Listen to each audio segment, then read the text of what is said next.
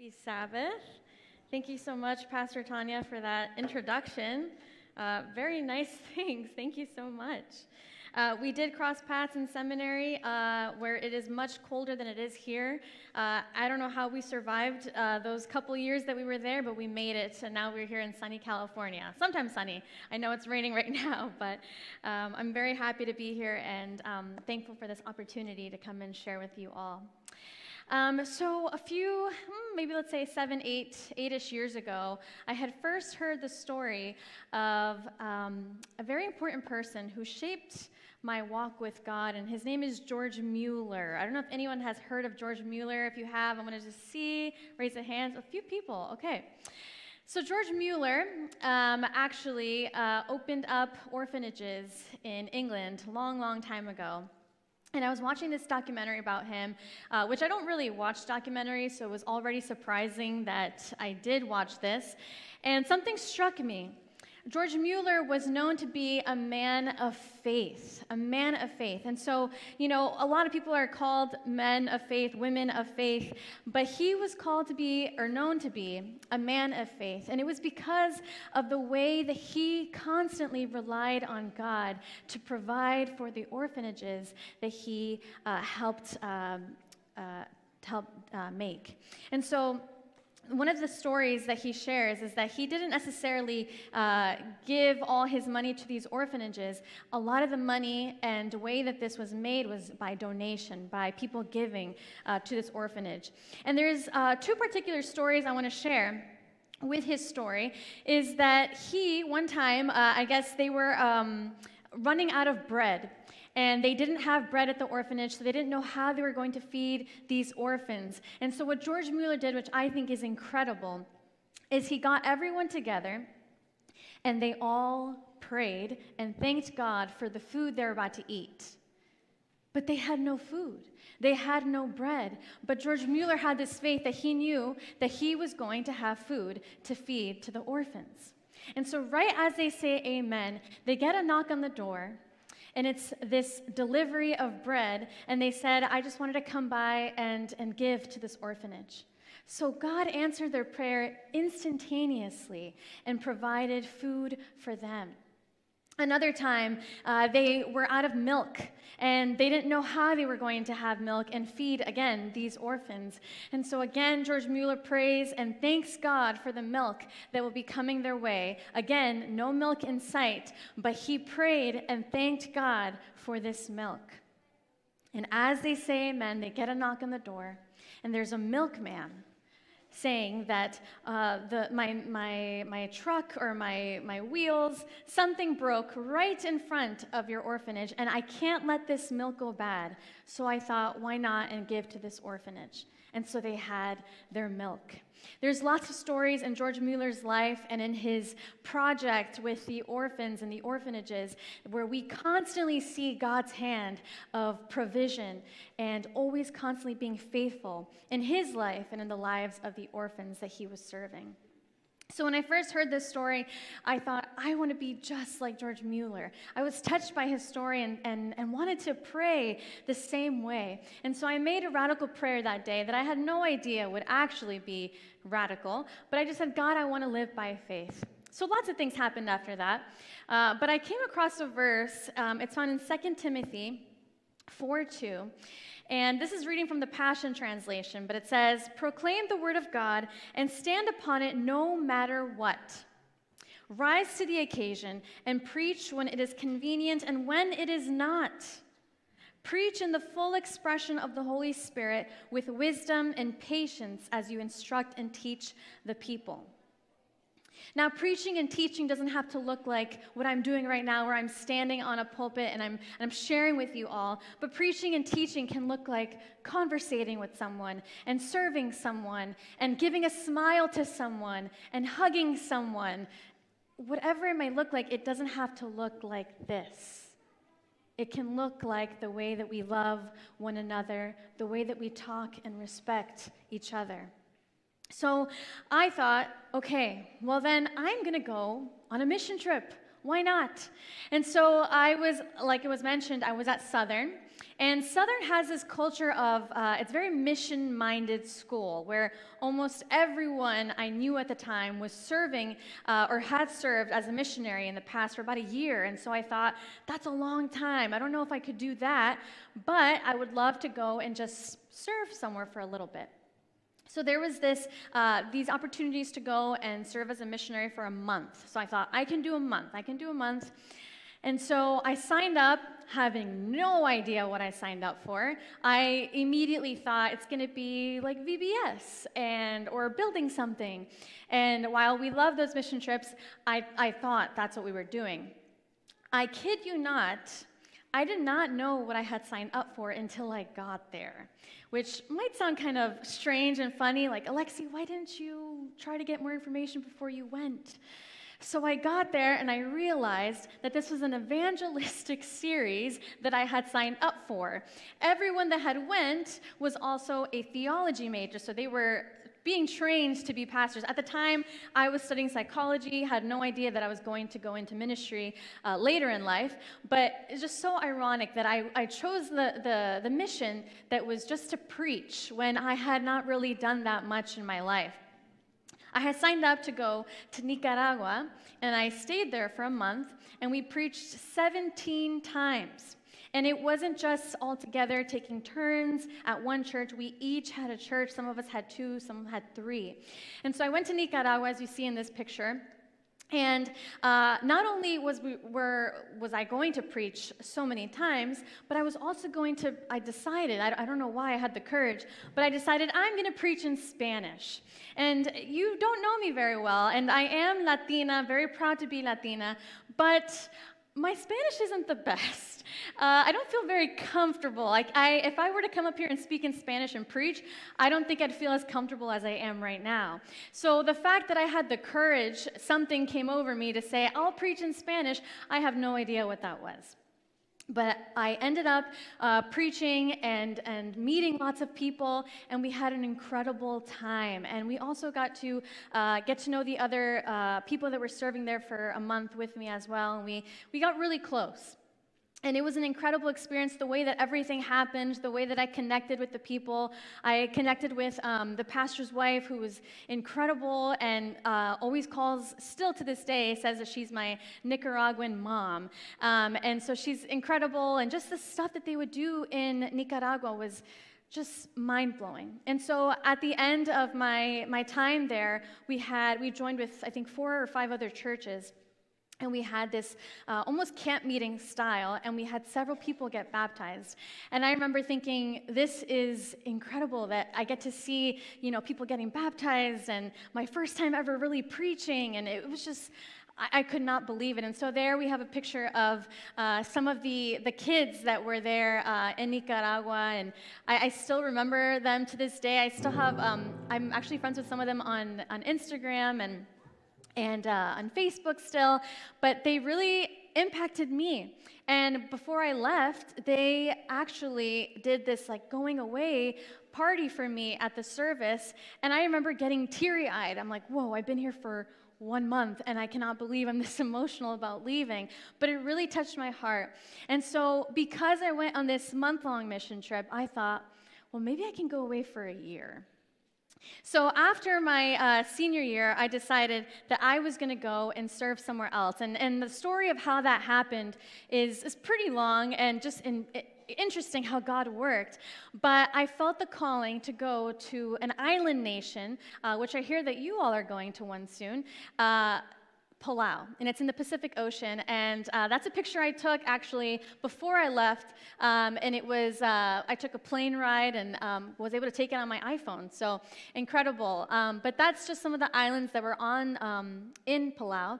And so I went and served there, and I taught eighth grade. I taught 29 uh, children, which was just insane because, again, I had just graduated with psychology, had never been a teacher before, absolutely knew nothing about education. Um, and so, as a missionary, they just kind of throw you out there and you just pray and hope for the best. And so, I taught eighth grade. And I had an incredible experience there. So many highs, so many lows, but God's faithfulness was there the entire time. And so, um, crazy story now is that some of those students are sophomores in college now, and they are at La Sierra, some of them, and I get to see them uh, now. I work right next to the university there. Uh, but it's just interesting how God worked, how God sent me there, and they impacted me more than anything. Um, and so I realized that this was an experience that I was never going to forget about. Uh, and when I left Palau, um, it was the hardest experience. So when I when I was there, I was like, well, when I left Nicaragua, I was really teary-eyed. I was really emotional after one month. I cannot imagine what it will feel like after one year of being somewhere. And so uh, in this picture, I have uh, four of my students students, um, some were in eighth and some were in seventh, um, getting baptized. And it's beautiful, absolutely beautiful there. But when I left, I had a really, really hard time.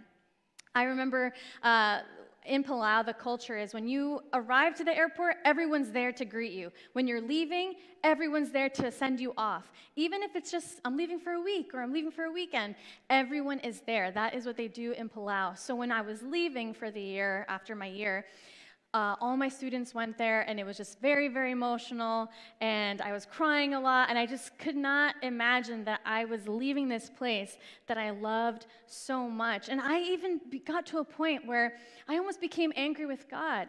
God, why would you send me here if I was just going to have my heart broken? Why would you send me here if I was only going to be able to stay for one year?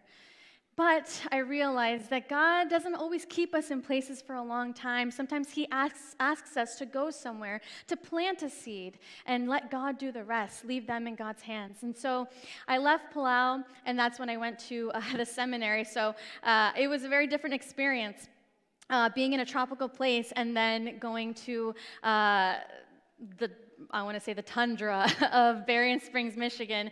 And uh, I, I, dealt with a lot of things that year. I remember I was very um, almost depressed just because of dealing with the, the grief of leaving this island home that I still love uh, to this day.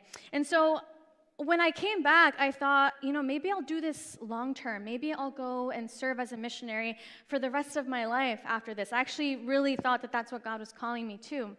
And so when I was in seminary and figuring out what I wanted to do with ministry, um, I started to realize that missions doesn't just have to be 9,000 miles away in Palau or in Central America, Nicaragua, or anywhere. Missions can happen wherever we are. Sometimes God calls us to, uh, I saw that you are all doing a homeless ministry, asks us to go and feed the homeless, or, or does ask us to go and travel a bit. Or maybe it's just, again, within our church walls and being kind to one another and loving one another and loving people that, you know, don't, we don't really agree with outside of these walls. And so I realized that being a missionary can look and feel so different than what I've always thought it was. So in Acts 8, I love, I love this um, that Philip actually was a missionary uh, in himself. And so Philip is known for carrying the gospel to the marginalized Samaritans. He preached in the city of Samaria to large crowds. So he was preaching to big crowds, uh, probably, you know, feeling that calling, that spirit, that fire within him. And it says, But the Holy Spirit led him out into the wilderness to preach to a single person. He called Philip out of this place where he was reaching lots of people, but he called him out of there to go and preach to one single person. And this person was an Ethiopian eunuch. This man was actually reading the book of Isaiah as he traveled, but he did not understand what he was reading. Philip showed him from the scriptures how he could be saved. And after leading the Ethiopian to the Lord and baptizing him, Philip continued on his trip to the coast and eventually to the city of Caesarea. And that's where he established a church. And so we find this story actually in Acts 8, and I think it's incredible um, how God called Philip specifically to go and speak to this person. So we're going to kind of read uh, this, this, uh, this, um, this section here. It's Acts 8, 26 to 39, if you would like to follow along. And I'm going to read from the message translation. And it says, Later, God's angel spoke to Philip. At noon today, very specific, at noon today, I want you to walk over to that desolate road that goes from Jerusalem down to Gaza. And so I think about this that God not only called him at a specific time, but he sends him to a specific place and makes sure that he says it's a desolate road. There's not many people here. So Philip, the obedient missionary, he gets up and went. He met an Ethiopian eunuch coming down the road. The eunuch had been on a pilgrimage to Jerusalem and was returning to Ethiopia, where he was minister in charge of all the finances of the queen of the Ethiopians. He was riding in a chariot and reading the prophet Isaiah. The Spirit told Philip, Climb into the chariot. Running up alongside, Philip heard the eunuch reading Isaiah and asked, Do you understand what you're reading? He answered, How can I without some help? And invited Philip into the chariot with him. I love this because sometimes when we don't understand, sometimes we are afraid to ask and see, can you help me understand this better? Or sometimes our pride gets in the way and we think, no, I understand it, I don't need any help. But I love that both of them are willing to help and to listen and to understand. So he says, um, he says, uh, the passage he said he was reading was this As a sheep led to slaughter and quiet as a lamb being sheared, he was silent, saying nothing. He was mocked and put down, never got a fair trial, but who now can count his skin, skin since he's been taken from the earth? The eunuch said, Tell me, who is the prophet talking about, himself or some other? And so Philip grabbed at his chance. He grabbed at his chance, using this passage as his text. He preached Jesus to him. Again, he wasn't up here on a pulpit preaching Jesus. He was having a conversation with someone who needed and asked for help. He wanted to know, who is this man? And he took the chance and preached to him, this is who Jesus is. As they continued down the road, they came to um, a stream of water. And the eunuch said, Well, here's water. Why can't I be baptized? I love this because he realized in that moment that I want to be saved. I want to know who Jesus is, and I want to be fully immersed in the water and become baptized. So they both went down to the water, and Philip baptized him on the spot.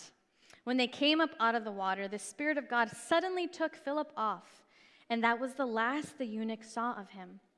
But he didn't mind. He had what he'd come for and went on down the road as happy as he should be. You see, when we encounter God, we are changed. When we encounter God, we want to share Him with others. When we encounter God, we are filled with love, we are filled with His Spirit, and almost everything about us is different. We see things in a different way, we love in a different way, we act in a different way. It's not a matter of following a set of rules, but actually following because you love. It comes out of love. So again, I mentioned that I had, I had been a missionary for a month and then a year, and I thought, this is what it looks like. But then I realized that there are other types of mission fields.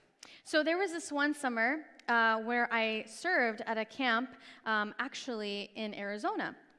And I did, had no idea, had never been there, had no idea who was going to be there. Uh, went there on a, on a whim. Um, again, very young. I think when you're very young, you make decisions. You're just like, hey, why not? So I was like, I don't know anyone in, in Arizona, but I'm going to go anyway, and I'm just going to see what's out there. And so that was the first of six, seven years of summer camp that I had never realized was going to impact me this much. And the reason I loved camp and camp in general still to this day is because I truly believe from the bottom of my heart that camp ministry is a mission field. We see so many kids come from different walks of life. Um, at this specific camp, we had lots of foster care uh, campers come to our camp, and we were trained and, and always reminded that this may be the only chance that a camper gets to hear about Jesus, ever. We have a responsibility to represent him well with the way that we talk to each other, with the way that we treat that camper, with the way that we sing our songs, even just with a smile. And so we took it very seriously. And let me say, it was one of the hardest things I've ever had to do because I had to see some really sad situations play out at this camp um, with, with realizing where they came from and my heart being broken with the stories that they would tell me. But it only reminded me again that God called us to this mission field, camp, where we can show Him for who He really is to our campers. But what's interesting is that not only did our campers get impacted, but our staff were constantly impacted by the ministry that we were doing. It's almost as if there was like an overflow of blessing and it was pouring out onto us who were serving.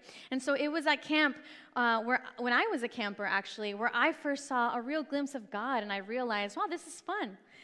And so, as a staff member, I realize this continues. We constantly see a glimpse of God when we serve and when we are here at this camp, uh, this mission field that God has called us to. It's where I saw lots of people give their lives to Christ, whether they were young as eight years old or um, as old as our staff at 21, 22 years old. I saw many lives changed at camp. And so I realized in that moment again that this is where family is made. This is where uh, I met some of my best friends, actually, to this day. Uh, that picture right there is one of my closest friends uh, who I had met my first summer at that camp. Um, and that was one of our last summers together where she uh, gave her life to Christ. It was a very emotional moment, but I remember thinking that this was a place that fostered this relationship with God for her and for so many other people. And so I realize again that the mission field does not look uh, one way. It does not look like you t- getting on a plane and going far, far away. It looks like every day encountering people, different people, people that are like us. It's the, the small interactions where the mission field is at.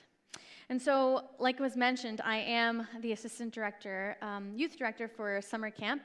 And uh, we are here because we are coming from Pine Springs Ranch, and our summer camp uh, is all of July. We have family camp uh, where families can come together and have a week of camp. And then we have kids camps for kids as young as seven, all the way up until 17. And we are also still hiring um, our staff. And if you work for us, uh, you get a college scholarship uh, for working at camp. But not only that, you get to go to a place away from everything and deepen your relationship with God. Get away from everything and help plant that seed in a camper's life. And maybe even so, maybe camp is for you. Maybe camp is for you as an adult, as a staff member, uh, where you get to experience God in a new and creative way. So I want to share with you all that uh, God has called us all to be missionaries of some sort. Just hearing the special music earlier today, I thought, wow, that is so fitting uh, because people do need the Lord. And sometimes that is not, again, just coming up here and preaching and going far away, but it's just by the way that we love one another. Because out of the overflow of God's love, we can in turn love others very deeply. So we have this responsibility whether it's talking to one single person like Philip did, or going somewhere and serving and building um, something for people, or going and serving at our camp, uh, we have this responsibility to love on people, to show these people who God is, and to constantly be good representations of Christ's love.